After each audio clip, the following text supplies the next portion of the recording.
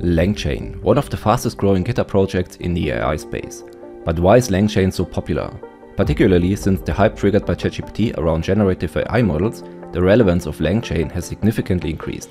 It enables the implementation of complex functions in an easy, accessible way. Here are the key areas where LangChain helps us as AI developers. Prompts. Prompts are the starting point for interacting with AI models.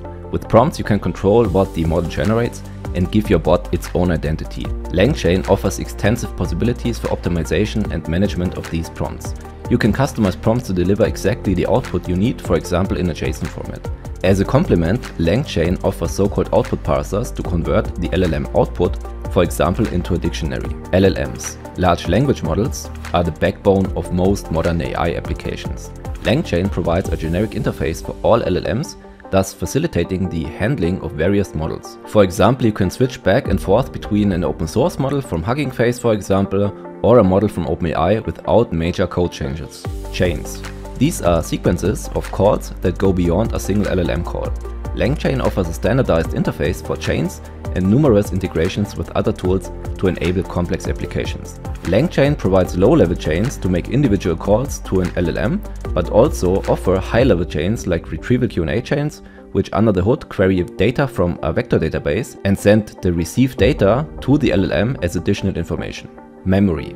LangChain enables the storage of states between calls of a chain to ensure continuity and consistency in processes. The typical example of memory is the use of memory in a chatbot.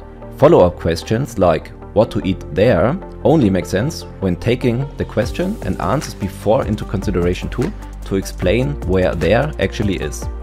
Instead of doing this by adding inputs and outputs to a list, creating dictionaries with the correct rows by hand, you can just use the memory classes as abstraction layer. Data Augmented Generation. LangChain interacts with external data sources to provide data in a generation step.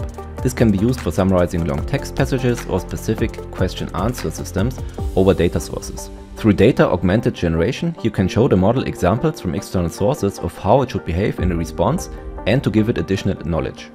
Agents. LangChain provides a standardized interface for agents who make autonomous decisions and perform actions. Agents can be thought of recursive functions.